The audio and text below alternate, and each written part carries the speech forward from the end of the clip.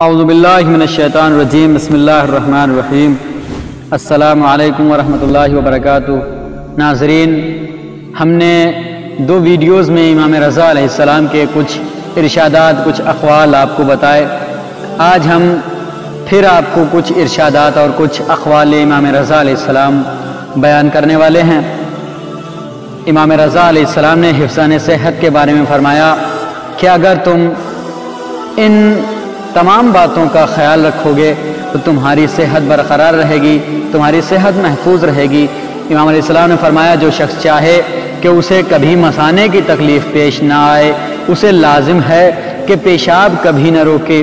چاہے کسی سواری پر بھی سوار ہو تو بھی نہ روکے۔ امام نے فرمایا، جو شخص چاہے کہ اسے معدے میں کبھی تکلیف نہ ہو، اسے چاہیے کہ کھانے کے درمیان میں پانی نہ پیے۔ کیونکہ کھانے کے درمیان میں جو پانی پیے گا، اس کے جسم میں رطوبت بڑھ جائے گی اور میدا ضعیف ہو جائے گا اور رگوں میں کھانے کی پوری پوری قوت نہ پہنچ سکے گی۔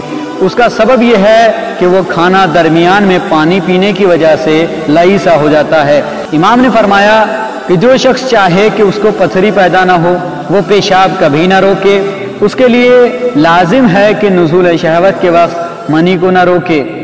امام نے فرمایا جو شخص چاہے کہ اس کو نسیان نہ ہو یعنی بھولنے کی بیماری نہ ہو، اور اگر ہو تو کم ہو جائے، اسے چاہیے کہ مربع ادرک کے تین ٹکڑے جو شہد میں پڑے ہوئے ہوں، وہ روزانہ کھا لیا کرے۔ اور اس کی غذا میں کوئی ایسی شے ضرور شامل ہو جس میں رائی کی شرکت ہو۔ امام نے فرمایا جو شخص بواسیر سے محفوظ رہنا چاہتا ہے، اسے چاہیے کہ ہر شب گائے کے ساتھ برنی خورمے گھی کے ساتھ کھا لیا کرے اور اپنے خوشیوں پر روغن چمیلی کی مالش کیا کرے۔ امام نے فرمایا، جو شخص سفرہ کی زیادتی سے بچنا چاہے اور یہ بھی چاہے کہ اس کے ناخن نہ پھٹیں اور بدصورت نہ ہوں، اسے چاہیے کہ سوائے جمعرات کے اور کسی دن ناخن نہ کٹوائے۔ امام نے فرمایا کہ جو شخص چاہے کہ اس کے کان میں کبھی درد نہ ہو، اسے چاہیے کہ سوتے وقت کان میں روئی رکھ لیا کرے۔ حضرت امام علی رضا علیہ السلام سے منقول ہے کہ جو شخص چاہے کہ اس کو سردی کے دنوں میں زکام نہ ہو، وہ تین چمچے شہد کے روزانہ پی لیا کرے۔ نرگس کے پھولوں کا سونگنا یہی سردی کے زمانے میں زکام نہیں ہونے دے گا۔ یہی خاصیت کالے دانے کی بھی ہے۔ امام نے فرمایا، جو شخص گرمی موسم میں زکام سے بچنا چاہتا ہے، اسے چاہیے کہ دھوپ میں بیٹھنے سے اجتناب کرے۔ اور ہر روز ککڑی یا کھیرا کھایا کرے۔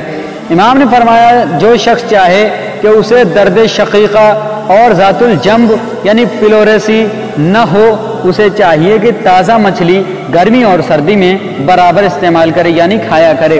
جو شخص چاہے کہ اس کا بدن ہلکا پھلکا رہے اور زیادہ موٹاپا نہ چڑھے اور بہت گوشت بھی نہ چڑھے، اسے چاہیے کہ رات کا کھانا کم کر دے۔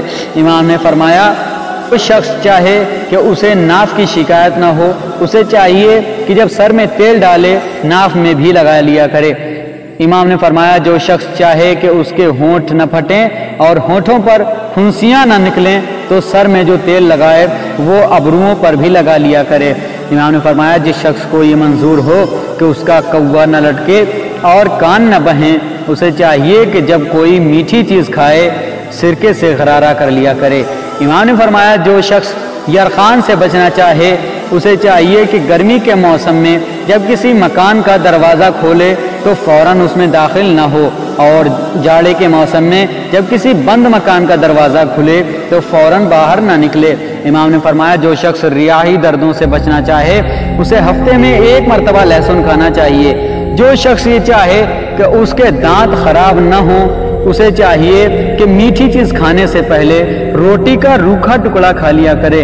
امام نے فرمایا، جو شخص یہ چاہے کہ بلغم اس کے جسم یعنی بدن سے کم ہو جائے، اسے چاہیے کہ روزانہ نہار منہ چوارش کمونی کھایا کرے، حمام اور جمع زیادہ کرے اور دھوپ میں بیٹھا کرے، بارد غذاؤں سے پرہیز کرے۔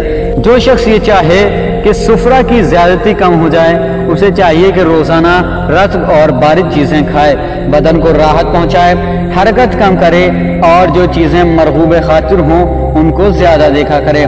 ناظرین، امید کرتے ہیں کہ آپ کو اس ویڈیو سے کافی فائدہ حاصل ہوا ہوگا۔ اگر آپ کو ہمارا یہ ویڈیو پسند آتا ہے تو لائک کریں اور اپنے دوستوں، اپنے اقربا کے ساتھ شیئر کریں۔ اور اگر آپ ہمارے یوٹیوب چینل پر نئے ہیں تو ہمارے چینل کو سبسکرائب کریں اور بیل آئیکن کو بھی پریس کر لیں تاکہ آنے والی ہر ویڈیو آپ تک آسانی سے پہنچ جائے۔ والسلام علیکم ورحمۃ اللہ وبرکاتہ۔ التماس دعا۔